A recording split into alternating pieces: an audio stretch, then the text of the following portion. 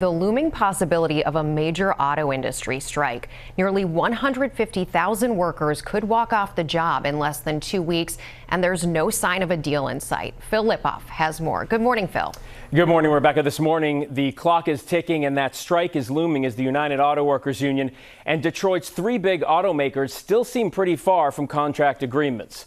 Hundreds of thousands of auto workers ready to strike.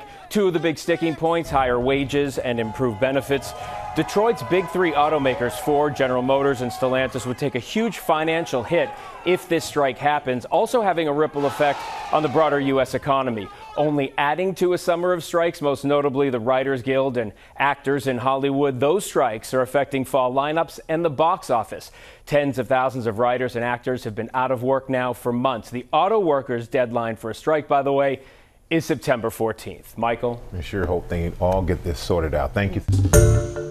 Hi, everyone. George Stephanopoulos here. Thanks for checking out the ABC News YouTube channel. If you'd like to get more videos, show highlights, and watch live event coverage, click on the right over here to subscribe to our channel. And don't forget to download the ABC News app for breaking news alerts. Thanks for watching.